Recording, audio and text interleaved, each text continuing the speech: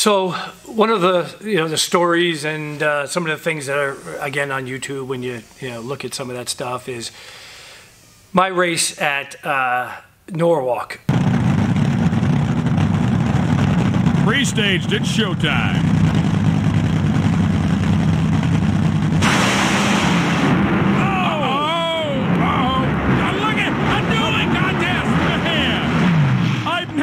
A fuel car pedaled so many times in one round is what Doug Foley just did. Um, it was an interesting race. It was a rescheduled race again. Um, it ended up being, I think, part of one of their Night of Thrills or something like that. But uh, we were there, and um, they went right into first round. We had a short crew. Uh, if I remember, two of my guys who were related had to go to a wedding or something like that. So we literally had like three guys there to run a top fuel car um, for eliminations. So we win first round. I think we ran Louis Allison, not 100% sure, but we ran we win first round. Um, then we go up for second round, and this is a car, like I said, we are struggling to maintenance this car, absolutely struggling. And we get up there, and our opponent is having a difficult time starting the car.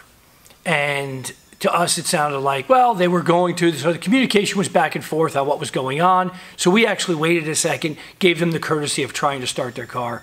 That didn't exactly work out for them. And all I'm thinking in the car is there's no way we can maintenance this car another time.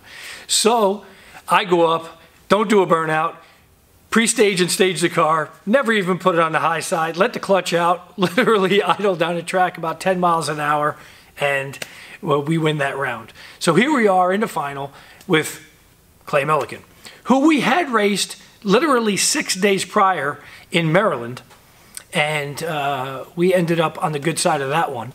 And uh, here we are, six days later, running him again, uh, probably midnight. And again, we're in a car that, you know, so I bring the car back. I'm like, I, I don't know what we're going to do here. So we bring it back, and I'm like, okay, we can't service this thing. So literally, just run the valves, change the oil, and let's go. And um, so that's what we did. So it took us all of about 20 minutes to get the car ready for the finals. And uh, with that being said, you know, it was kind of enjoyable going by their pit area as if we serviced it. Of course, we were lying. Um, we never serviced it. And uh, driving by their pit area saying, come on, guys, what's taking so long? You know, as if we did something. And um, so we get up there and uh, we go to run each other. And um, I, I think it was maybe on their mind that we had beaten them six days earlier in a race that they thought they should have won. And um, so this was when the team was really starting to come around and we were pretty good. So we were going up there with some confidence. Um, and uh, needless to say, uh, I get on the gas, Clay gets on the gas.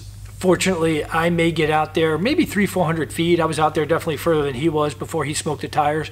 But inevitably, we both smoked the tires. And um, so here comes this pedal fest where just proves Doug Foley can't pedal a top fuel car. Okay, hopefully I've gotten better since then. That was a long time ago, but um, so after we counted, I believe I pedaled the car. I think it was right, right around 13 times. Um, Clay probably pedaled it four or five, but was pretty aggressive and was going right back up into smoke. And he definitely had that thing sideways. Um, and I was I had more of like a bucking bronco type of syndrome going on there where I could not get that pedal under control. But needless to say, I was uh, as ugly as it was was good enough to get that thing to the finish line and win that race at about midnight, one o'clock in the morning, which was uh, definitely enjoyable to win two top fuel races in six days.